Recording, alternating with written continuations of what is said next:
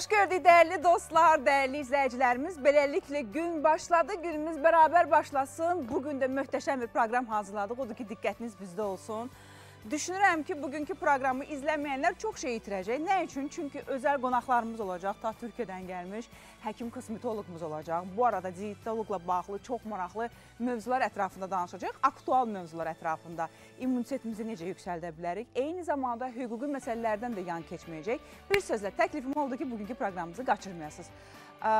Adəti üzrə düzdür Elnurla bərabər proqramı açırdıq, amma bir balaca narahatçılıq hissi yarandı məndə. Görürsən Elnur hardadır? Bir sürprizimiz olacaq sizə. Diqqət.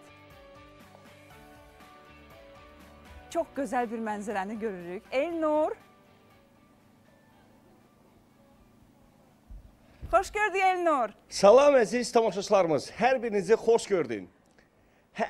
Hə, hər saat biz sizə gün başladı deyiriksə, bu gün də gün başladığını mən sizə yeni yaradılmış Çəmbərəkənd Parkından salamlamaq istəyirəm. Bugün Bakının gözəlliyini sizinlə bərabər izləyirik. Bugün Xədicə studiyada olsa da mən sizinlə bərabər parkımızdayım. Hansı ki, yeni açılmış Çəmbərəkənd Parkı. Hazırda da gördüyünüz kimi insanların axını var burada. İnsanlar çox gözəl istirahət edirlər. Əgər nəzərə alsaq ki, 4 hektar ərazidə salınmış bu gözəl parkımızda 50 mindən çox ağaclar, gül çiçəklər açılmaqdadır. Və əlbəttə ki, mən də böyük məmnuniyyətlə istərdim ki, həmin bax bu gül çiçəyin ətrafında bizim bu gözəl balalarımız üçün yaradılmış bu gözəl parkımızla bağlı sizə bir neçə məlumat verim. Yeni yaranmış parkımızda o qədər gözəl əhval-ruhiyyə var. Mən elə gəlir ki, şəhərdən kənara getmədən meşə əhval-ruhiyyəsini yaşamaq, təbiətin qoynunda olmaq, oksigenlə qidalanmaq üçün yaradılmış ən gözəl şəraitlərdən biri də məhz Çəmbərəkənd parkıdır. Böyük məmnuniyyətlə də mən istədim ki, bu gün bir fərqlilik olsun.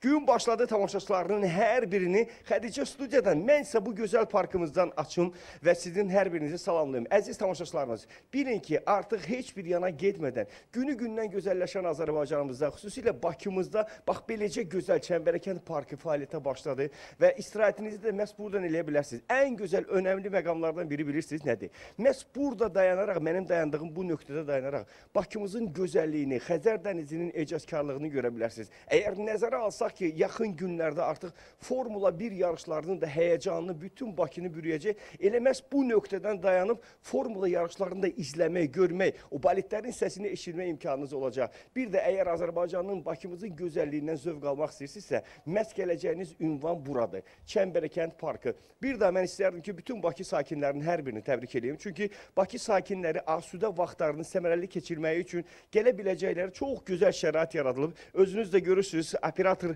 Elşad da hə- bütün bu məqamların hər birini təqdim edir. Bizim gözəl gələcəyimiz olan gənclərimiz üçün də gözəl, balalarımız üçün də gözəl şərait yaradılıb. Bu parkda istirahət edirlər və sözün Əsl mənasında məhz bu gözəl parka hər birinizi dəvət etmək istəyirəm. Söhbət Çəmbərəkənd parkından gedir. Xədicə, məni eşidirsənmi? Mən elə gəlir ki, veriliş bitəndən sonra yenidən səninlə bərabər bu parka gəlmək lazımdır. Bu parkın özəlliyini, gözəlliyini, bir də bu çiçəklərin verdiyi o qoxunu hiss etmək lazımdır. Məndən hələ ki bu qədər.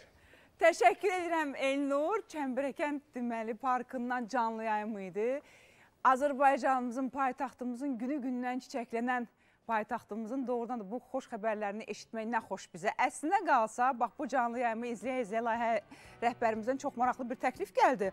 Çox güman ki, artıq bu Çəngər, e, Çəmbərəkənd parkı bizim yay studiyamıza çevrilə bilər və bilirsiniz ki, günü-gündən yeni-yeni layihələri təqdim edən Azərbaycan televiziyası da maraqlı layihələri ilə sizin evinizin qonağı olur və düşünürəm ki, artıq yayda da yeni layihələrin şahidi olacaqsınız. Nə gözəl, Elnur səni artıq burada gözləyirik. Biz isə başladıq. Qonaqlarımız buradadır. Biraz əvvəl artıq kiçik bir anonsu etdim. Düşünürəm ki, ilk qonağımı artıq dəvət etməyin vaxtıdır və Şəhriyə xanım Əhmədova gələcək. Həkim, dietoloq olaraq. Xoş gördük Şəhriyə xanım. Necəsiz? Sabahınız xeyir. Çox sağ olun. Siz necəsiz? Gördünüz də nə gözəl xoş xəbərlə açdıq. Bəli, elədir ki, var. Parklarımızın biri də açıldı və düşünürəm ki, hər bir sakinin ən sevdiyi məkanlardan biri olacaq. Necəsiz, Artıq keyfiniz Açıq necədir? havada vaxt keçirmək üçün daha bir yeni məkanımız var. Tamamilə doğrudur. Keyfiniz necədir? Hər şey Hər qaydasındadır şey mı? superdir. Əla, o, o, zaman həmən keçirik mövzumuza, düzdürmü? Elədir. Biz nəsinə söhbət edərkən düşündük ki, yay mövsümüdür, düzdür. Qışdan artıq çıxdıq və immun sistemimizi daha da möhkəmləndirmək üçün, immunitetimizi yüksəltmək üçün hansı qida məhsulları var və vacibdir onları qəbul etmək? Bəli, e, mövsüm dəyişdi. Artıq e, belə deyək, immunitetimizi yay mövsümünə kökləyirik. E, Təbii ki, bizim qidalarla yanaşı balanslı qidalanmamız, düzgün həyat tərzimiz çox vacib rol oynayır. Amma onu xatırlatmaq istəyirəm ki, doğru, yüksək immunitetin açarı sağlam yuxudur. Mən sizdən razıyam. Birinci oradan başlamaq istəyirəm. Çünki Aha. təbii ki, gecə saat 2-yə qədər seriala baxıb, səhər yeməyini oyanıb saat 2-də yeyən insanın, yəni bu mütəmadi davam edərsə, yeyən bir orqanizmdən sağlam immunitet gözləməyə dəyməz. Razıyam. Təbii ki, burada sağlam immunitetdən söhbət gedə bilməz.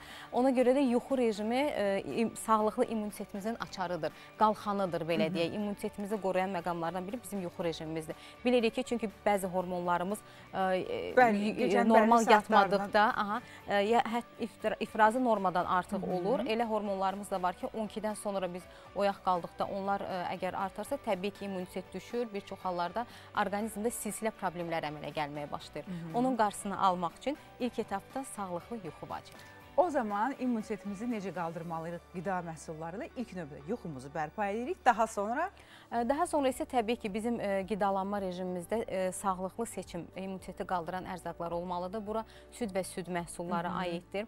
Ə, Daha sonra mən cütlük deyirəm həmişə onları belə adlandıram. Meyvə tərəvəz cütlüyü mütləq rasionumuzda olmalıdır. Adətən bizim soyuducuda ən son məqam üçün saxladığımız, seçim olaraq saxladığımız tərəvəzlər ə, əslində bizim ilk seçimimiz olmalıdır. Bəzən hər bir şey yeyilir filan, ə, ən sonda hə orada 2-3 gün öncə falan ə, tərəvəz almışdım. Onu bu gün bişirərəm.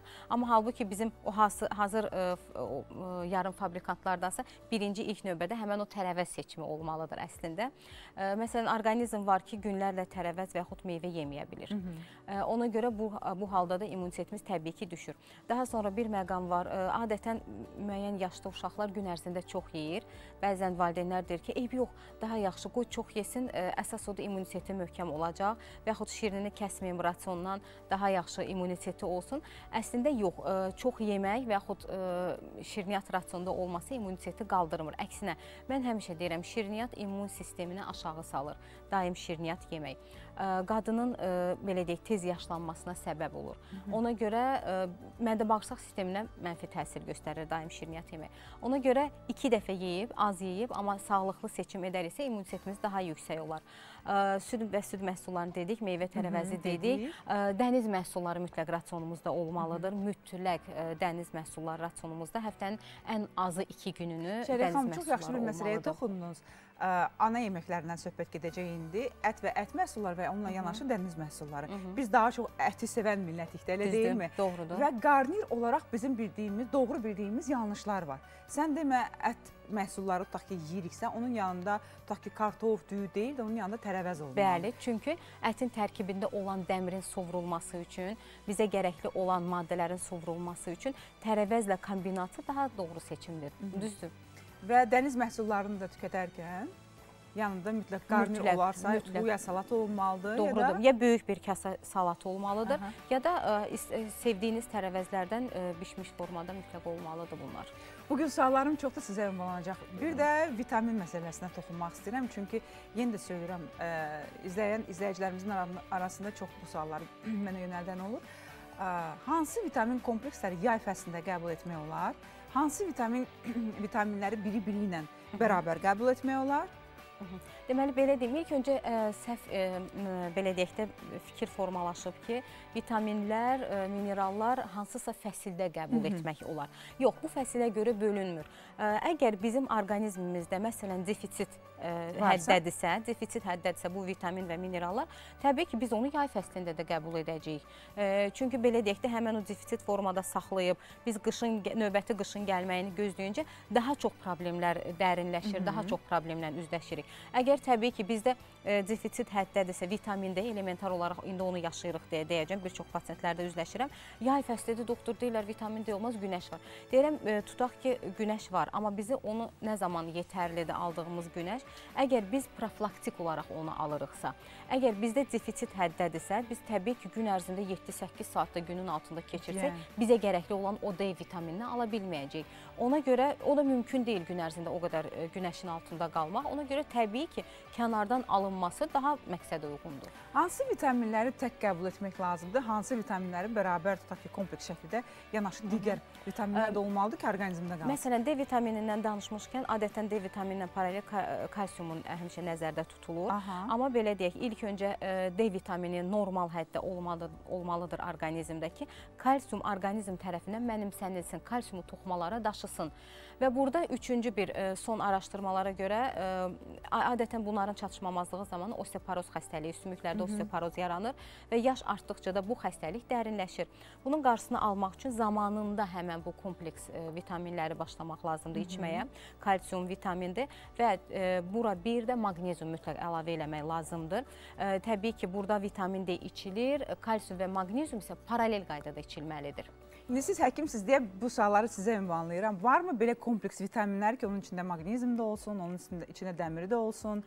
Var, amma mən bunu tövsiyə etmirəm. Bunlar etaplı şəkildə olmalıdır və ayrı-ayrı molekula şəklində orqanizmə daxil olmalıdır. Yaxşı, bir gündə o zaman həm vitamin D-ni, həm kalsiumu, həm də ki maqneziumu da qəbul, qəbul etmək olar? etmək olar, amma onlar ayrı-ayrı molekula şəklində olmalıdır və yaxud da orada bəzi onun sovrulması üçün e, birləşmələr olur və yaxud o şəkildə olmalıdır. Amma o mix qarışıq məsləhət deyil. Məsləhət deyil. Yaxşı, ha, günün hansı saatlarında bu e, vitaminləri qəbul etməliyik? Yoxsa önəmli Adətən deyil? ə, yox, onun da önəmi var. Adətən saat 12 ilə 2 arası orqanizm tərəfindən vitaminlərin sovrulması daha aktiv ə, həyata keçir. Ona görə on, adətən 12 ilə 2 arası daha tövsiyə olunandır. Mənə elə gəlir ki, çox maraqlı mövzu ətrafında danışırıq. Çünki yenə də söyləyirəm, fəsilləri dəyişdiyimiz təqdirdə hər birimizin ə, vücudu individualdır da, elə deyilmi? təbii ki. Kimdəsə tam tərsinə vitaminsizlikdən əziyyət çəkir, kimdə ümumiyyətlə bu vitaminlərin sovrulması ilə bağlı problemlər Problem var. Ona görə biz hər zaman söyləyirik ki, sırf individual yanaşma olmalıdır. Biz ümumilikdə nəzəriyyəni qeyd edirik. Praktikada artıq Doğrudur. əldə etdiyimiz e, belə deyək də nəticələrlə bölüşürük, amma yenə də mütləq öz həkiminizlə məsləhətləşin. Çünki biraz öncə e, Şəhriyə xanım söylədi ki, təbii ki, qida rasionumuzda bizim meyvələr və e, Tərəvəzlər. deməli, tərəvəzlər aktuallığını qoruyub saxlayır, amma bu da individual. Çünki elə insanlar var ki, müəyyən xəstəliklər nəticəsində Bəli. onlara əks göstərişdir. onların orqanizminə olmaz. Ona görə onları biz belə deyək də ə, qida əlavələri formasında filan, vitamin ə, tabletləri formasında ə, qəbul eləyirik. Təbii ki, bu halda da mövsümü gözləməyəcəyik. Orqanizmin tam immunitetinin düşməməsi üçün istənilən mövsümdə o davam edə bilər. İstənilən halda qida əlavələri bu vitaminlərdir Bəli. və digərləridir. Ə, Bu kənardan qəbul olunur, elə deyilmi? Və müəyyən işləmlərdən gedir. Bu nə qədər təbiidir və vücudumuza doğrudan da effekti göstərə bilər. Ə, Qida əlavələri adətən belə deyək də, onlar hamısı orqanizmin təbii formada hazırlandığına görə orqanizmdə çatışmamazlığını nəzərə alsaq ki, çatışmamazlığı bizə daha çox problem yarada bilər. Təbii ki, o güvəniləcək bir əgər qida əlavələridirsə, onları təbii ki, qəbul eləmək olar. Hətta bəzən axı biz ə, orqanizmə gərəkli olanda kimyəvi birləşmə olan müəyyən dərmanları da qəbul eləyirik. Razıyam sizlə. O ona görə ə, yenə də ə, belə deyək, professional dəstəyi ilə onlardan yəni qaçmaq gərək deyil, qəbul etmək Şəriyə olar. xanım, bu məqamı qaçırtmaq istəmərəm. Nələri qeyd etmək istərdiniz? Madam ki, belə bir fürsət əlimizə düşüb bizi izləyən izləyicilərimizə. Nələrə diqqət yetirsinlər? Diqqət etmək lazımdır. Adətən immunomodulyatorlar istifadə eləyirlər. Bunlardansa mən təbii ki, ayrı-ayrı vitamin komplekslərini və yaxud qidalardan almaq məsləhət görürəm. Ən güclü immunomodulyator lobiyadır məsələn. Ə, Taxıl ə, və paxlalılar, dənli bitkilər. Rasionda bunları çox istifadə etsinlər. İstər ə, isti yemək şəklində, istərsə ə, belə deyək, salatlarda da onları istifadə eləyə bilərlər. Ə, Havada çox olsunlar. Havada nə qədər çox vaxt keçirsələr, düzdür, fiziki aktivlik də aiddir bura, amma bir çox insanlar işlə, iş qrafikinə alınmır, amma hər kəs istəsə 5-7 dəqiqə səhər ona mütləq zaman sizlə. ayıra bilər. Yəni bunu buna belə deyim də bəhanələr adətən gətirilir. Əgər kim istərsə onu mütləq e, necə ki biz yuxudan oyananda üzümüzə su vururuq, deyək ki, ayılırıq, yuxumuz qaçır. Elə də bizim orqanizmi, daxili orqanları oyatmaq lazımdır. Daxili orqanları oyadan bizim səhər ac qarnına içdiyimiz su və həmin o bədənin oyanması üçün etdiyimiz 5 dəqiqə fiziki aktivlikdir. Təşəkkür edirəm sizi və böyük bir məmnuniyyətlə həmkarımı dəvət etmək istəyirəm. Elnur Kərimov gəlir. Çəmbərəkənddən canlı yayımdaydı və Salam, parkın salam. gözəlliyindən bizə danışdı. Xoş Bütün gəldin. tamaşaçıları salamlayıram, dəyərli Şəhliyə xanımı da salamlayıram, xoş gəlmisiniz. Əziz tamaşaçılarımız, sözün əsl mənasında bir gözəllik var idi burada. Və mən e, bilirəm ki, çox faydalı məsləhətlər verirsiniz, amma Xədicə nə yaxşı ki, vaxtında bağlantı etdin. O qədər gözəl bir park idi və insanların axını orada var idi. Gördük. Artıq e, uşaqlar ora gəlməyə başlayırlar. Baxmayaraq ki, e, sabah təzə açılır. Doğrudur. Amma insanların axırı çox idi. Çünki orada həm də kölgəlik var və inanıram ki, hava yavaş-yavaş kölgəliyə doğru getdiyi anda insanlar çox rahat istirahət edə bilərlər. Mənə elə gəlir ki, indi Şəhriyə xanım bu barədə ətraflı məlumat verəcək ki, açıq havanın verdiyi üstünlüklər Biraz var. əvvəl bu Oksig- danışmışdıq. hə, oksigenin verdiyi üstünlüyü var. Əgər nəzərə alsaq ki, 50 mindən çox ağac, gül, çiçək və parka daxil olarkən sanki ətirli bir dünyaya daxil olursan. O qədər gözəldir. Və bir sual, e, bir sözü orada Buyur, tamaşaçılar dedi mənə. İstəyirəm bunu buradan çatdırım və təşəkkürlər bildirim.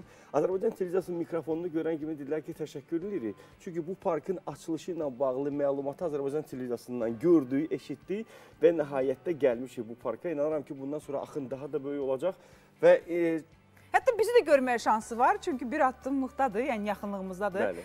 Biraz əvvəl də biz layihə rəhbərimizlə danışdıq və artıq yeni bir ideyalar yarandı. Çox güman ki, artıq yayın isti qızmar günündə həmin bu gözəl Ecazkar Park bizim studiyamıza da çevrilə bilər. Bir məsələ də mənim diqqətimdədir və xüsusilə buradan vurğulamaq istəyirəm ki, Çəmbərəkənd adının yenidən bir park olaraq hallanması, Çəmbərəkənd parkının adının bu gözəl adı olması sözün əsl mənasında həm tariximizə olan hörmətli, dəyərdir və nə yaxşı ki, artıq Çəmbərəkəndin özündə də gözəl bir Çəmbərəkənd parkı fəaliyyətə başladı. Və nəfis bir mənzərəsi vardı. Oradan da e, imkan olduğu qədər biz gördük. Hətta uşaqların orada yerləncəklərdə oynadıqlarını da gördük. Əminəm ki, artıq bu parkda özünə məxsus e, belə deyək də kütləsini toplayacaq və biz də tez-tez orada görüşəcəyik. Mütləq görüşəcəyik orada. Şəhri xanım, doğru bildiyimiz yanlışlardan nə qaldısa onu da qeyd eləyək. Ə, Yeməklərə toxunduq, hansı ki gün ərzində çox yeyilir. Aha. Ə, Daha sonra yuxu rejiminə toxunduq. Doğrudur. Ə, Bir Bir də var veriləcək sualını istəyirsən nəyisə bilmək. Mən böyük məmnuniyyətlə mən müdaxilə eləmək istəmirəm. Ona görə deyirəm rahat məsləhətlərinizi verəsiniz. Sonda təbii ki, suallarım olacaq. təbii ki, ə, yay mövsümüdür, günəşdə daha çox vaxt keçiriləcək. ə, Su Açıq məsələsi ilə məkanlarda. bağlı çox istərdim ki, deyəsiniz. Bu artıq hər kəsin dilində əzbərdir, amma nə qədər biz bunu riayət edirik yoxsa yox və nə qədər doğru düz, düzgün bildiyimiz yanlışlar da var. Doğrudur. Hər bir insan fərd olaraq gündə mütləq şərtdirmi 2-3 litr su özünü məcbur edərək içsin? Minimum bəli 2 litr su içilməlidir. Bu həm bizim mədə-bağırsaq sistemimiz üçün gərəklidir, həm beynimizin fəaliyyəti üçün faydalıdır, ə, həm dərimiz üçün faydalıdır, həm də metabolizmanın sürətlənməsi üçün, immun sistemimizin yüksək olması üçün çox faydalıdır. Nəyə görə bəs ə, bu qış dönəmində bu yaşadığımız bu xəstəliklər falanla bağlı vurğulanırdı ki, daha çox maye qəbulu olsun. O da günün birinci yarısında İmmuni- daha çox içilməlidir, Ə, eləmi? Adətən böyrək problemi yoxdursa orqanizmin, ə, əgər müəyyən bir sağlıqla bağlı bir problemlər yoxdursa, ə, Günün istənilən saat- istənilən saatında içmək Yuxudan olar. əvvəl qəbul edə bilərik. Ə, Təbii ki, heç bir problem yoxdur. Amma çox fayda, e, çox böyük e, miqdarda olmaz. Niyə görə? Çünki səhər tezdən yuxudan şişkinlik oyanandan ola sonra- bilər Bəli, orqanizmdə. gözlərin altında da şişkinlik, şişkinlik ola ola bilər. Ona görədir. Əgər böyrək problemi Aha, yoxdursa, təbii ki, biz zaten deyirik ki, ə, sonuncu qida, içki qəbulu yatmazdan 2 saat yarım 3 saat əvvəl O olmalıdır. da baxır kim ki. saatin içində yatır, düzdürmü? Şərif xanım çox sağ olun gəldiyiniz üçün. Çox sağ olun ətraflı edirəm. məlumat verdiyiniz üçün. Mən nə qədər çatdırdımsa sizi dinləməyi bacardım, dinlədim. Yenə də çox dəyərli məsləhətlərinizlə gün başladığın qonağı oldunuz. Minnətdaram. İnanıram ki, çox faydalı məsləhətlər verdi çünki Xədicənin də sualları çox gözəl idi. Maraqlı idi, doğrudur. Çox təşəkkür fərqli bir edirik. mövzuda danışdıq. Mən təşəkkür edirəm dəvətiniz üçün. Tövsiyə edirəm, sağlamkən sağlığınızın qədrini bilin. Çox gözəl bir tövsiyədir. Çox sağ olun. Sizin Təşəkkür özünüzə də sağlamlıq arzuluyuruq. Hər zaman belə gözəl və təravətli qalın. Bizim isə kiçik bir fasiləmiz olacaq. Fasilədən sonra növbəti qonaqlarımızı qarşılayacağıq.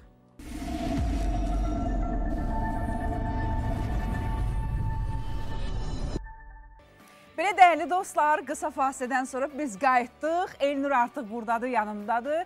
Daha rahat oldum və biz keçirik əsas məsələyə. O ki enerjini Xədicə sənin qızından alıramsa, demək ki, əziz tamaşaçılarımız, bizim hər ikimizin enerjisini Azərbaycan televiziyası sizə ötürür. Gün başladı deyiriksə, təbii ki, dəvət etdiyimiz qonaqların maraqlı mövzuları ilə qarşınızda oluruq, amma bir məsləhətimiz var sizə. Çünki isti yay günləri gəlir. Bilirsiniz ki, Bakımızda elə verilişimiz başlayarkən də şahidi oldunuz ki, gözəl parklar açılır və biz istirahətimizi harda edəcəyimizi düşünürük. Görəsən hara gedək? Görəsən harda istirahət eləsə daha yaxşı olar? Həm də evi evi də e, evə ev üçün də darıxırıq. Hə. Bax bütün bu sualların hər birinin cavabı var artıq. City Garden Nərimanov layihəsi var. Söhbət Kristal Abşironun təqdim etdiyi Sesi Garden Nərmanov layihəsindən gedir ki, 21 hektar ərazidən elə bir yaşayış kompleksi təqdim edir ki, nə yayda, nə qışda, heç gündəlik həyatınızda belə istirahət, əyləncə və alış-veriş üçün harasa getməyə ehtiyac qalmayacaq. 21 hektar yaşıl ərazidə daha nələr yoxdur ki? Nələr yoxdur ki burada? Aha, buyur. Şəxsi bağçası olan dupleks mənzillər, qapalı üzgüçülük hovuzları, açıq və bağlı fitness sahələri, yürümə, qaçış və velo zolaqlar, özəl və dövlət olmaqla iki məktəb, iki bağça, hətta alış-veriş mərkəzləri, mərkəzi bir Tamamilə doğrudur. Bir mall var ki, orada 40-dan çox brendlər var. Və əgər nəzərə alsaq ki, mənzillər təmirli sizə təhvil olunacaq, unutmayın ki, mənzillər bu dəfə təmirli və ağıllı sizə təhvil veriləcək. Ulduz 1544 qısa nömrəsi 05293 1010 nömrəsi ilə bütün suallarınıza cavab tapa bilərsiniz. Söhbət Kristal Abşirovun təqdim etdiyi City Garden Nərimanov Nərimanov layihəsi. layihəsindən gedirdi. Sən danışdıqca mən artıq onu gözümdə canlandırdım ki, artıq mən bəlli bir mənzildə əyləşmişəm və öz proqramımızı təkrarən izləyirəm. Bəli, bəli. Belə, dəyərli dostlar, biz artıq başladıq. Əsas məlumatı nəzərinizə çatdırdıq və özəl qonağımız var. Türkiyədən gəlmiş, çox dəyərli həkim kosmetoloq Aygün Ay. Xoş gördük sizi. Hoş buldum. Necəsiz? Yaxşı. Sabaha sizinle başlamak ne güzel. Salam, xoş gördük, xoş gəlmisiniz. Hoş gördüm. Günü-gündən gözəlləşən Odlar yurdu Azərbaycanımız, Küləklər şəhəri Bakımızı sizi yenidən görməyimizə çox e, şadıq. Şadıq, təbii. Və bu gün Azərbaycan televiziyası vasitəsilə bizim tamaşaçılarımıza, xüsusilə elə bir xanımlarımız var ki, diqqətlə izləyir. Çünki bu verilişin əsas məqsədi xanımlarımızdır. Xanımlarınıza düzgün yol göstərmək və öz sahəsinin uğurlu xanımlarını taparaq bizim verilişimizdə cəlb etməkdir. Ne güzel. Burada həm qadın baxışı, həm də kişi baxışı ilə yanaşırıq. Odur ki, dəyərli xanımlar hər zaman gözəl olun, baxımlı olun. Düzdür, biz hər dəfə bu mövzuya toxunanda sanki zaman dondurulmuşdu artıq onlar üçün. Yəni bir xanıma baxarkən artıq onun yaşını təyin etmək mümkün deyil. Nə üçün? Çünki biz baxımlı olmağı çox sevirik. Və baxımlı olmaq üçün təbii ki, kosmetologiya aləmində o qədər yeniliklər var ki. Kesinlikle. Hətta cərrahi əməliyyatı etmədən belə biz daha gənc görsənə bilərik, daha gözəl görsənə bilərik. Və Əgər gözəllikdən danışırsa, bunun bariz nümunəsi Xədicə Sənən qızı və Aygün Ay. Maşallah. Təşəkkür Başlayın mövzuya Biz görün. artıq başlayırıq. bu Bugün dəfə hansı Aygün mövzuda? xanım bolluca məlumatla gəlib. İlk növbədə mənə elə gəlir ki, bir məsləhətlərdən başlayaq. Manqonun özümüzə olan təsirindən. Biri gəlmişkən elə burdadır. Onu göstərəcəm. İstəyirsinizsə elə danışa-danışa onu şərh edək. Geçen katıldığım programda e, seyircilerimize ne önerirsiniz ciltlerine diye sormuştunuz. Ben de bir tavsiyede bulunamamıştım. Çünkü her şey her cilde iyi gelmeyebilir. O yüzden hani neyi önerebilirim diye düşündüğümde mango olarak karar verdim. E, mango tropik bir meyvedir. E, hatta tropik meyvelerin kraliçesi diyebiliriz. E, içeriğinde çok fazla vitamin e, içeriyor. A vitamini, B vitamini, C ve E vitamini ki cildimize e, hepsinin çok e, fazla fayda Təsiri var. Evet evet çok fazla faydası var. E, A vitamini ne yapıyor? Antioksidan içeriyor. E, akneye karşı koruyor. Cildi savunmaya alıyor. Kırışıklıkları önlüyor. E, C vitamini lekelere karşı koruyor. Anti-aging içeriyor. Gene yaşlanmaya karşı koruyor. E, B vitamini nem sağlıyor. E vitamini hatta pul pul dökülen ciltlerin e, sorununu bile gideriyor. Aha. Evet yani bu küçücük meyve Bu qədər möcüzələrə sahibdir. kesinlikle Yaxşı, biz onu necə etməliyik? Necə tətbiq etməliyik üzümüzə? aslında Bunu çok yeməklə olur o möcüzə Şimdi yoxsa? yiyerek Hem de çok faydalı. Aynı şekilde vücudumuza o meyveleri, e, vitaminleri almış oluyoruz pardon. Cildimize de çok küçük parçasını bile ezip cildimize sürdüğümüz zaman bu bahsetmiş olduğum etkilerin hepsini sağlıyor. Günün hansı saatında? Axşam saatlarında mı yoxsa səhər saatlarında? Genelde maskeyi ben duştan sonra öneriyorum Aha. temiz cilde. Ee, ha bir şeye de dokunmak istiyorum. Tropik meyvelere alerjisi olan insanlar olabilir. Bunu bilmeyebilir. Çok küçük bir parça kolumuzda deneyebiliriz. Hani ona Qızartı karşı falan evet, varsa o zaman etməyin. alerjimiz var mı yok mu anlayabiliriz. Eğer yoksa rahatlıkla haftanın iki günü, Aygün üç yaxşı günü. neyidir? Manqonu soyduq, onu rəndədən mi keçirtməliyik Hayır, yoxsa? bu çok yetişmemiş bir mango. Hani Aha. mango biraz yetişince Hı hı, o- daha da faydalı oluyor. olur. Evet, yetişmiş bir mangoyu yiyoruz ya da suyunu e, içebiliriz meyve suyu gibi. küçük bir parçası hani püre haline getirilmiş bir parçası maske yapmamıza yeterli Neçə olabiliyor. saxlayırıq? Yarım saat. Hə, yarım saatdan sonra da Evet. ilıq su ilə təmizləyirik, sonra nemləndirici krem. Hiçbir Evet, şey sürmüyoruz. ehtiyac O yoktur. zaten cildin ihtiyacı olan her şeyi bize veriyor. O Yaxşı, bir dənə mən aha, e, mən bir sual vermək Buyurun. məcburiyyətində mütləq. Çünki yay fəsli gəlir və artıq bir çox e, istirahət mərkəzlərində mövsüm açıldı. Həm hovuz, həm dəniz kənarı artıq dənizə gedirlər insanlar. Dənizə daxil olandan sonra e, bu maskanı istifadə edə bilərlərmi? Yəni kömək eləyirmi? Evde Evdə. güneşe maruz kalmadan yapabilir. O zaman keçirik növbəti əsas məsələmizə, kök hüceyrələrdən. Bu kök hüceyrə məsələsi artıq o qədər aktualdır ki, bugün. Hər kəs bu mə məsələ ilə bağlı müəyyən sualları ötürür, amma kosmetologiyada sırf ə, vücudumuza baxmaq üçün kök hüceyrənin təsiri olmazsa olmaz. Kesinlikle. Artık gerçekten ameliyata çok ihtiyaç duymuyoruz kök hücre sayesinde. Ee, kendi hücremizle gençleşiyoruz ve yaş olarak geri gidiyoruz. Hani e, bir dolgu, yağ nakli e, işleminde cilt değişebiliyor, yüz şeklimiz değişebiliyor ama kök hücrede değişmiyor. Bax, kök hüceyrənin ümumiyyətlə əldə olunması ilə bağlı o qədər belə maraqlı fikirlər söz söylənir ki, dünən sizlə hətta danışarkən biz bu haqda danışdıq. Necə götürülür? Şimdi e, esas kök hücre otolog kök hücre. Kulak arkası ve kasıktan küçük bir parça alınıyor. Laboratuvarda üretilerek, çoğaltılarak lazım olan yerlere enjekte ediliyor. Aha. Ama benim e, kendime ait, kend, yani kendim icadım diyeyim, öyle bir prosedürüm var. Prosedür PRP gibi ama sonuç kök hücre. Bir açıqlamasını verək. Deməli bilirsiniz ki, e, kosmetologiya sahəsində müxtəlif prosedurlar var. Onlardan birini hətta mən etmişdim. Deməli qan e, alınır. PRP. Xüsusi bir cihazdır. Evet, Həmin o qanı yerləşdirirlər o cihazın içində. Sonra orada bir işlem gedir. Aha. Qanda lazım olan plazma, trombositləri ehtimalla ayrılır. Ondan sonra Aha. tutaq ki, trombositi həmən üzə köçürdürlər. Plazmanı da saç dibinə etmək olur. Onun da effekti O gözəldir. prosesdən Evet. sonra özü ayrılır. Ha, evet. özüm. Santrafuj ayırır onu. Santrafuj da ayrılır. Ama benim yapmış olduğum kanımızdaki onarıcı hücreyi alıyorum. Onarıcı hücreyle de sizi gençleştiriyorum. Şimdi bahset biraz önce bahsettiğim kulak arkasından alınan e, hücreyle 6 ay sonra gençleşebiliyoruz. Ama benim yapmış olduğum işlemde anında Hemen. gençleşme başlar ve 6 ay boyunca devam eder. Ay, Yaş Gülxan. olarak geri gideriz. Buradan bir maraqlı bir fikir yarandı. Evet. Biz indi bəlli bir vaxtdan sonra məzuniyyətə gedəcəyik. Yeni mövsümdə acaba siz Bakıda olacaqsınızmı?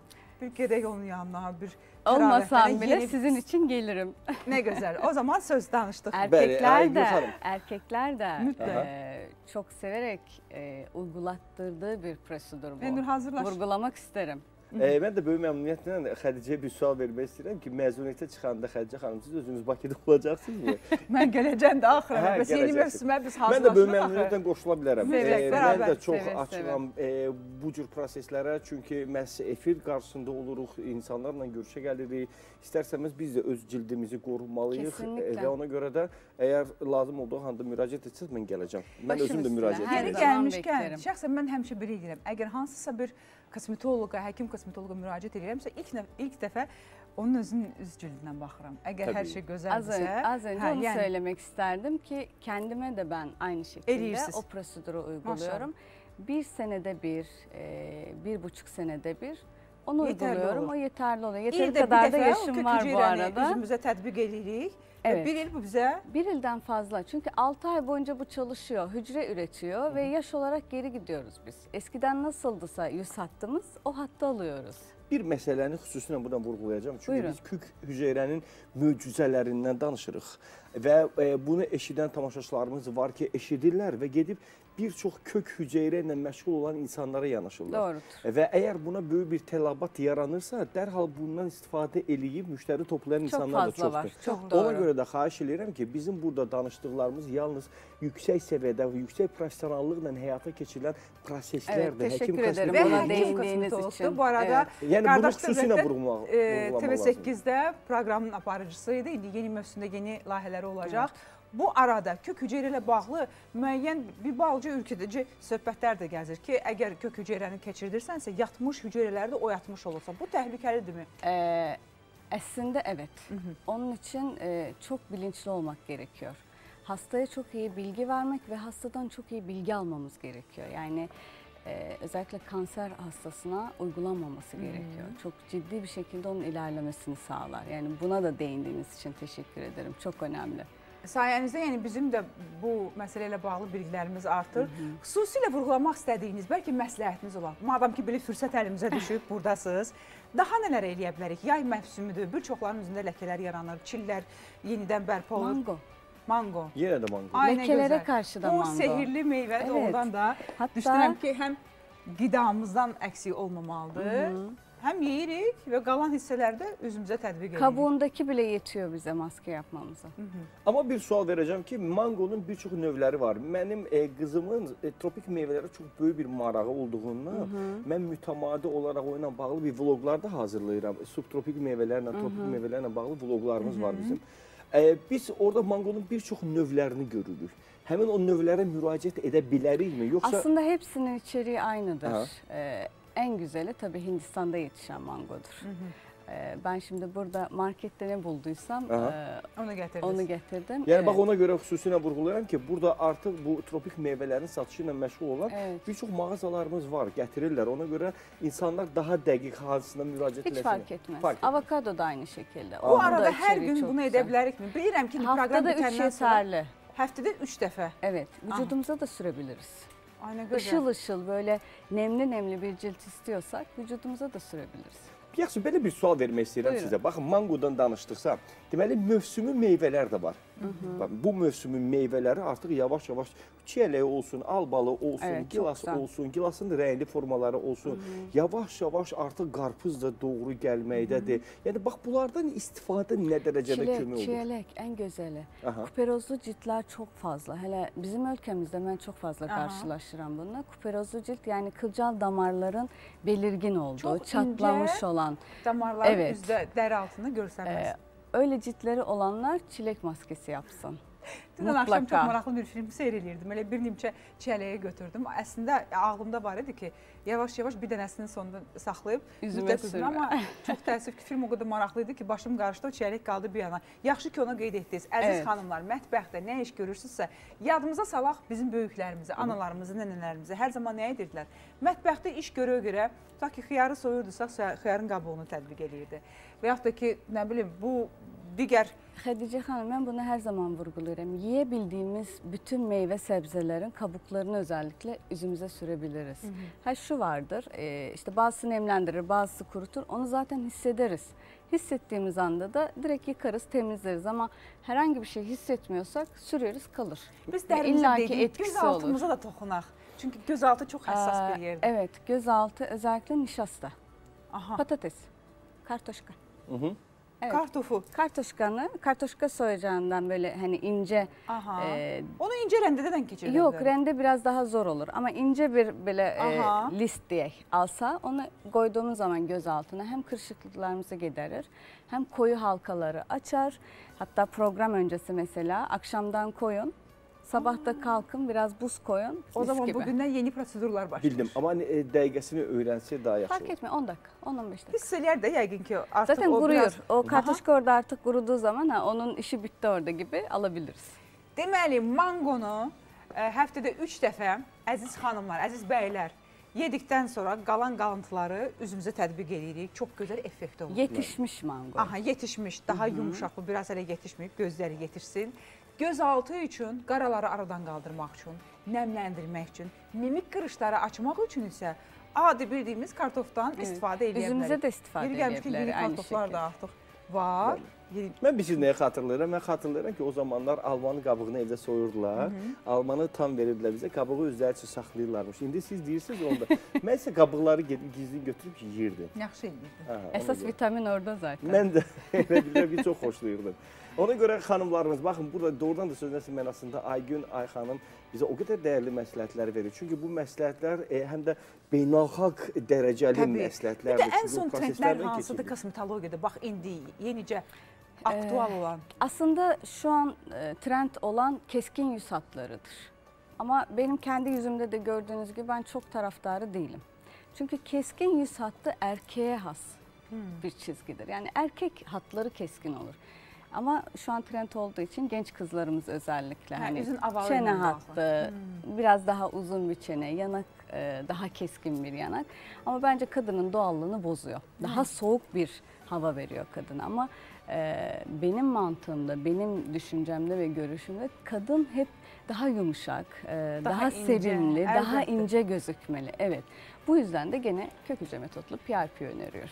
Ona görə də hər kəsin öz üz avalına görə, üz quruluşuna görə müdaxilələr olmalıdır, Evet. əziz xanımlar. Hər zaman gözəl görsənmək istəyirik, amma dəbdir deyə bundan öncə qaçmayaq, özümüzü Kesinlikle. həvalə eləyək peşəkar həkim kosmetoloqlara. Çox təşəkkür Mən Aygün xanım təşəkkür edirəm. Mən də elə bax bu çağırışı eləyəcəm ki, mütləq ki, peşəkarlara müraciət edin. Aygünay, e, gözəl xanımımız, e, xoş oldu sizi görməyə. Mənə də çox maraqlı xoş söhbət oldu. elədiniz. Enerji aldıq. İnanırıq ki, enerji ne də ötürəcəyik. Yeni mövsümə başlamazdan əvvəl Elnurla gələcəyik yanınıza. Tamam. Önce sizi işlem alacağım sonra Mütləq. programda konuşacağız. Buradan qardaş dövlət olan Türkiyə qucaq dolusu salamlarımızı yo- yollayırıq. Aleykümselam.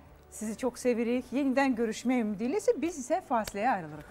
Bəli, qısa bir fasilədən sonra yenidən sizinlə bərabər olacaq.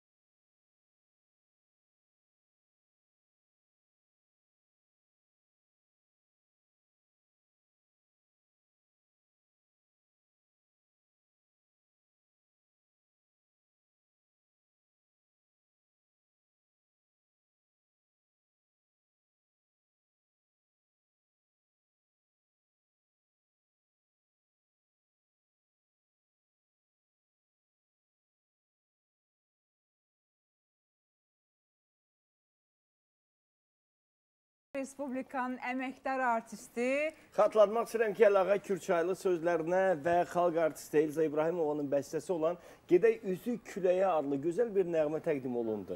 Xüsusilə vurğulamaq istəyirəm ki, biz tamaşaçılarımızı salamlayaq, qonaqlarımızı da salamlayaq. Amma Elza İbrahimova yaradıcılığına e, bir balaca da olsa toxunmalıyıq. Çünki mən Seydər Əliyev adına sarayda çox gözəl, möhtəşəm bir gecə keçirildi. Orada iştirak edən çox dəyərli ifaçılarımızın ifalarında Elza İbrahimova nəğmələri səsləndi. Bu barədə danışacağıq, amma istəyərdim ki, Xədicənin icazəsi ilə qonaqlarımızı təqdim edim. təqdim edir. Çünki əslində biz bu ifa ilə qidalandıq. Çox ciddi bir mövzu ətrafında danışırıq. Çünki özəl qonaqlarımız var, hüquqşünaslarımız bugün bizimlə bərabərdir. Sonra Səlimli Ələskərova və Qumru Eyvazova bizimlə bərabərdir. Hər birinizi salamlayırıq, xoş gördük. Arzu xanım da artıq təqdim elədi Azərbaycan Respublikasının əməkdar artisti. Belə, xoş gəldiniz. Çox sağ Hər olun, üçünüzü xoş salamlayırıq. Arzu, bu arada sənin də sualın varsa, buyurub səsləndirə bilərsən. Bu məqam qaçılmaz. Və həmən keçirik suallara. Çox təəssüf ki, günü-gündən boşanmaların da sayı çoxalır, elə deyilmi? Və burada ən çox önəmli məsələlərdən biri nədir? Alimentlər. Tamamilə doğru. Onun verilmədiyi təqdirdə biz nə etməliyik? Bildiyiniz kimi Ailə Məcəlləsinin 76-cı maddəsinə əsasən valideyn öz uşağına aliment ödəməlidir.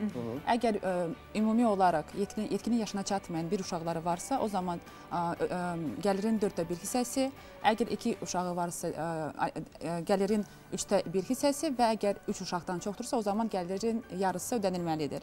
Çox vaxtı təəssüflər olsun ki, ə, bildiyiniz kimi ya- ə, 2022-ci ilin yanvar ayından etibarən minimal aliment ə, haqqı 193 manat təşkil edir.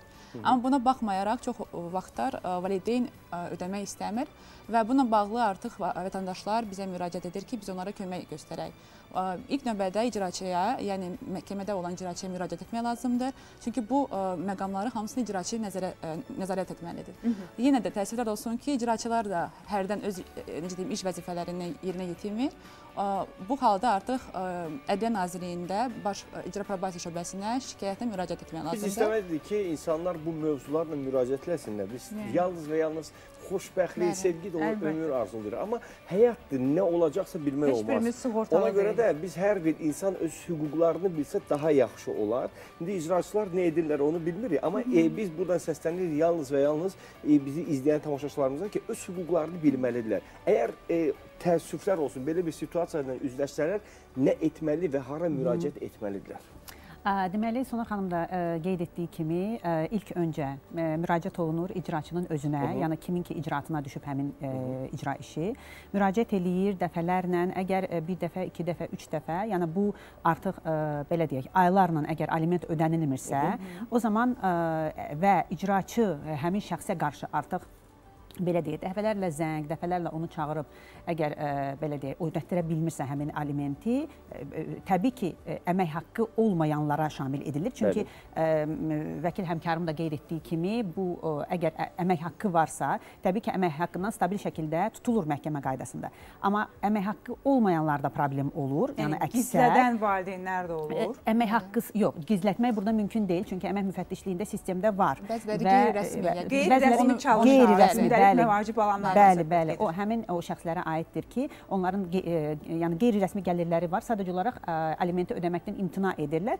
Ə, Bu zaman icraçıya ə, müraciət etmək lazımdır. Həmin icraçı protokol tərtib edir və ona qarşı ə, inzibati qaydada ə, demək cərimə tətbiq olunur, sonra ə, inzibati qaydada həbs verə bilər, yəni 10 günədək. Ə, əgər bunu da etmir, yəni bu bunlar hamısı, bu prosedurlar hamısı keçəndən sonra yenə də ödəmək istəmirsə, tutalım həbs olundu, çıxdı, amma yenə də imtina edir ödəməyə, o zaman ə, demək ərizəçi, yəni iddiaçı belə deyək, ə, müraciət eləyir yenə də icraçılara ərizə yazır və ə, Cinayət Məcəlləsinin 306-cı maddəsinə əsasən 2 ilədək azadlıqdan ə, məhrumetmə Yaxşı, cəzasına olur. azadlıqdan məhrum olundu. Ya Bəli. ödəməyənə qədər o yığılan, Bəli, bəli, sonra ödəməyənə qədər bəli, o yığılır. Hətta onu azadlıqdan məhrum etsə belə, o 2 il belə deyək, cəza çəkmə müəssisəsində cəzasını çəkib sonradan çıxsa belə, həmin o 2 il ərzində yığılmış alimentlər onun tərəfindən İstənilən halda, ödənilməlidir. Əziz valideyn, ə, nigaha girdiyiniz halda təbii ki, boşanmanı heç kim düşünmür, amma həyatda heç kim bu məsələlərlə bağlı sığortalanmır, amma unutmayın. Burada sizi birləşdirən, ömürlük sizi birləşdirən bir varlıq var. Hər şeyi bir kənara qoyub övladınızın naminə, onun gələcəyi naminə bunları yaxşı-yaxşı düşünüb mənə elə gəlir ki, Bu burada biraz da vicdan məsələsidir. Hə? E, biz çox gözəl məqamlara toxunduq. E, xüsusilə biz artıq həbsdən də danışdıq. Amma gəlin belə bir mövzuya toxunaq ki, biz bu barədə cəmiyyəti məlumatlandırmaq üçün hansı addımlar atırıq və nə kimi işlər görülməlidir? Bu mövzuya toxunaq. Bəli. Məsələn, mən düşünürəm ki, maarifləndirici təl- təlimlər, Hı -hı. bəlkə də bildiyiniz kimi bizim bir layihəmiz var. Bu mobil tətbiqdir, Legalet adlı mobil tətbiqdir. Bunu ə, Legalet hüquq şirkəti və Azərbaycan Respublikası Vəkillər Kollegiyası birgə partnyorluq şəkildə bu mobil tətbiq yaradılmışdır. Aha. Bu mobil tətbiq vasitəsilə vətəndaş yerdən və vaxtdan asılı olmayaraq öz sualını ünvanlaya bilər və həmin anda da cavab tapa bilər. Məsələn, çox vaxtı bizdə problem nədir? Çox vaxtı vətəndaşın hüquqi maarifləndirməsi yoxdur. Bəli. Hansı hüquqi bilikləri yoxdur. Onlar bilmirlər ki, məsələn, hansı halda hara müraciət etmək lazımdır, kimə müraciət etmək lazımdır və ona görə biz düşünürük ki, və Azərbaycan Respublikasının Vəkillər Kollegiyası da köməyi ilə artıq belə bir təşəbbüslər ə, var. E, Yeni layihələr, hər şey yenə də necə deyim, vətəndaşlar üçündür və artıq vətəndaşlar öz hüquqlarını bilib öz özünü müdafiə edə bilir. Yeri gəlmişkən indi bizim suallarımız əslində çoxdur Elnurla. Çoxdur, çoxdur. Ə, boşanmadan sonra ən çox ə, həssas dönəmlərdən biri övladın paylaşılmaması. Bəli. Tutaq ki, ana yay tətilində övladı ilə harasa gedib istirahət etmək istəyir və ata bu anda ananı cəzalandırmaq istəyir və o icazəni vermir. Bu təqdirdə nə edə bilər? Bu, bu vaxtda da ə, bildiyiniz kimi 2020-ci ilin iyul ayından mediasiya tətbiq olunur. Aha. Artıq ailə, əmək və kommersiya işləri üzrə əgər məhkəməyə müraciət etmək istəyirsinizsə, ilk növbədə mediasiyada müraciət et- etməlisiniz. Bu ə, əgər vali- valideyn, valideyn, yəni ə, məsələn ər uşağın xarici aparılması ilə bağlı hansısa etiraz edir, icazə vermirsə, o zaman yenə də mediasiyaya müraciət etmək lazımdır. Bəli. Mediasiya zamanı mediator çalışır ki, tərəfləri hansısa Razılığa razılığa gətirsin. gətirsin. Barışığa. Bəli, hansı barışıq müqavilə bağlanılsın. Əgər ə, tərəfləri barışdıra bilmirsə, o zaman mediasiyadan bir arayış verilir ki, mediasiya baş tutmadı və ondan sonra artıq bu arayışın və digər sənədləri ilə məhkəməyə müraciət etmək mümkündür. Əslində qalsa Və- bu çox bəsit bir məsələdir. Yəni bir- Bilirəm, lap Ana yəni tutaq ki, getdiyi bir yerin gediş-dönüş biletini göstərirsə, övladı naminə biraz dinləməyə ehtiyacı varsa, Bəli. yəni bunun Hər iki tərəfin cəzalandırmaq naminə əslində qalsa kanunu cəzalandırmır, övladınıza bir travma yetirmiş olursunuz. Yəni gedib o mütləq qayıdacaq. əslində Mən bir sizi nəyə sevinirəm. E, Bağışın sözünü kəsirəm. Mən onu sevinirəm ki, gün başladı ailəsi olaraq biz toxunduğumuz mövzular hər zaman aktuallığını qoruyur və ilk dəfə mediasiya e, yaranarkən biz bu mövzu ilə e, hardasa bir 3-4 dəfə xüsusi olaraq hüquqşünaslar dəvət etdi. Bu barədə danışdıq və çox sevinirəm ki, artıq tamaşaçılarımız mediasiyanın nə olduğunu bilirlər. Yəni ki, artıq məhkəmələrə getmədən öncə bu mediatorlardan istifadə edərək hər hansı bir razılığa da gələ bilərlər. Amma aliment mövzusuna toxunuruqsa, bir mövzunu e, gəlin buradan səsləndirək. Unutmasınlar ki, alimenti yalnız atalar ödəmirlər. Bəli. Bax bunu xüsusilə diqqətdə saxlayın ha. bəli. Atalar ödəmirlər. Hətta hüquq çərçivəsində analar belə aliment ödəyə doğru. bilər. Bəli. Gəlin bu barədə danışaq. Ə, bəli, çox ə, gözəl sual ver, yəni mövzuya toxundunuz. Ə, hamı elə bilir ki, əgər tutalım ki, ə, məsələn, 3 uşaq var, onun ikisi anada qalır, biri ə, atada qalırsa, ana deyir ki, məndə 2 uşaq qalıb, qoy ata mənə ödəsin. Amma atada da bir uşaq qalıb axı. Yəni əgər atada bir uşaq qalıbsa, demək sən də ona məbləği ödəməlisən. Deməli belə olan halda, əgər məsələn 3 uşaqdırsa və anan ə, atanın ə, məsələn əmək haqqısı varsa, atanın əmək haqqısından 3də 1 hissəsi ödəniləcək həmin anada qalan 2 uşağa görə. Əgər ana işləmirsə, məsələn, o zaman minimum Sona xanım da qeyd etdiyi kimi yanvarın 1-dən 2020-ci 22-ci ildən minimum aliment 193 manatdır. O zaman anadan hər ay 193 manat tutulub ataya ödəniləcək. Bu kimi hadisələr təbii ki, o qədər çox deyil mənə elə gəlir ki, hər iki valideyndə qalan uşaqlarla, yəni bu alimentlərin bir-birinə ötürülməsi mənə elə gəlir ki, burada razılaşma yolu ilə ə, çıxış yolu tapmaq olar. Amma əsas məsələ odur ki, madam ki, artıq ailə dağılıbsa və burada aliment məsələsi varsa, bilirsiniz, burada o qədər cüzi bir məbləğdən söhbət gedir ki, istənilən halda əgər övlad anada qalırsa, ananın yükü çox böyükdür. Bəli. Uşağı baxması var, onu yedirməsi var, içirməsi var, geyindirməsi var və s. və ilə axır. Yenə də söyləyirəm, bu bağ ömürlükdür. Əziz valideynlər, bu addımı atarkən 100 dəfə düşünməlisiniz. Çünki ola bilsin ki, müəyyən bir vaxt ərzində hansısa bir ə, əsəbin, ə, qəzəbin nəticəsində yenə də söylürəm, həyat yoldaşınızı cəzalandırmağı düşünürsünüzsə, amma əslində bu belə deyil. bunun hüquqi aspektdən yanaşmağını çalışırıq və burada ə, boşandıqdan sonra təbii ki, artıq o xoş münasibətlər qalmır. Çox təəssüf, çünki Çox əslində təəssüf. qalsa həyatınızın sonuna qədər sizinlə bərabər yaxşı bir dost qazanmış ola bilərsiniz. Yaxşı bir sirdaş qazanmış ola bilərsiniz və hər iki tərəfin bir marağı olmalıdır. Əmlak bölgüsü ilə bağlı. Bəli.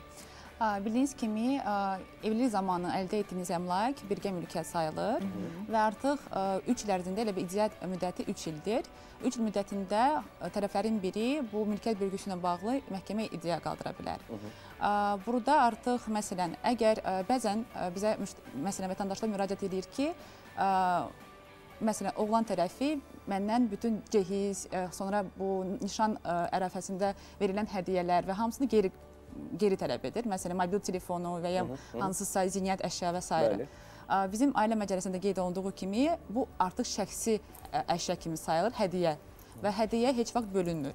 Çox vaxtı bizim bizə belə müraciətlər olunur. Vətəndaşlar düşünür ki, əgər mən məsələn şəxsən kiməsə nəyisə hədiyyə eləmişəmsə, mən onu geri ə, tələb edə bilərəm. Lakin yox, lakin ə, əslində təcrübədə Hədiyyələr geri qaytarılmır. Bəli, hədiyyələr Odur ki, ar- hədiyyə etmədən əvvəl yaxşı-yaxşı düşünün. Bəli, amma əmlakla bağlı bəli iddia qaldıra bilərlər və əgər evlilik zamanı əldə ə, ediblərsə, o zaman 50% qalır xanımda, 50% qalır Hətta arvadda. övlad yoxdursa belə. Bəli, əlbəttə. Əziz tamaşaçılarımız, bilirsiniz ki, e, bax bu cür hadisələr yaranarkən Xədicə çox gözəl bir söz söylədi ki, əsəbdən e, hər hansı bir qərarlar verə bilərik, sonra bunun peşmançılığını çəkə bilərik. Eyni vaxtda indi hal-hazırda hüquq tərəfindən mediatorlar fəaliyyət göstərir, müraciət edə bilərsiniz. Amma ən əsas bilirsiniz nədir? Ruhunuza yaxın olan nəğmələri dinləmək.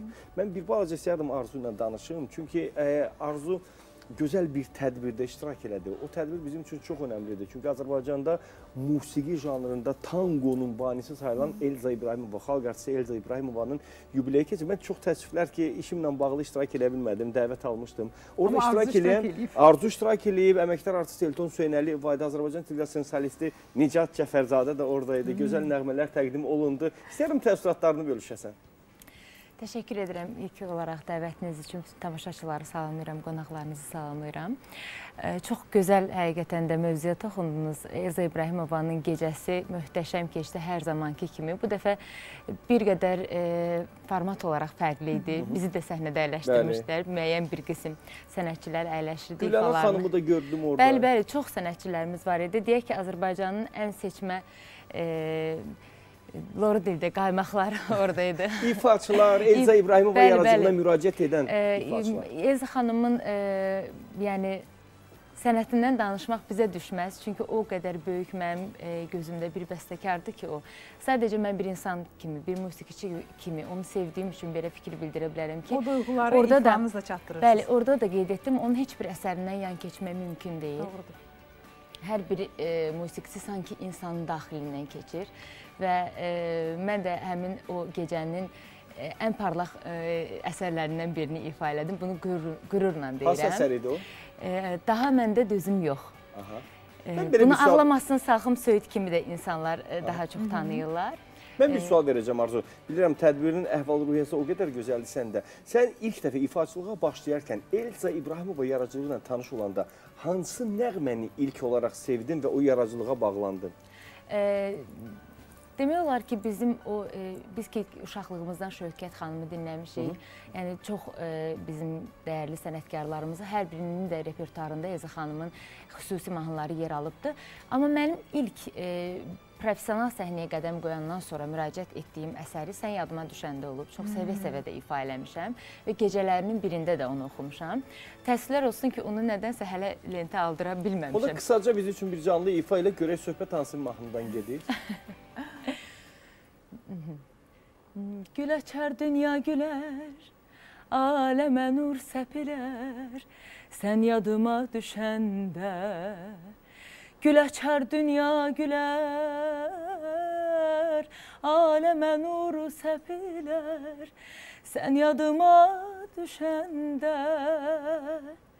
Gecə olsa, gecə olsa ay çıxar, ay çıxar, qaranlıqlar çəkilər, qaranlıqlar çəkilər gecə olsa, gecə olsa ay çıxar, ay çıxar, qaranlıqlar çəkilər, qaranlıqlar çəkilər, gün olar gündüz olar gündüz olar, şəfək geyər düz dünya.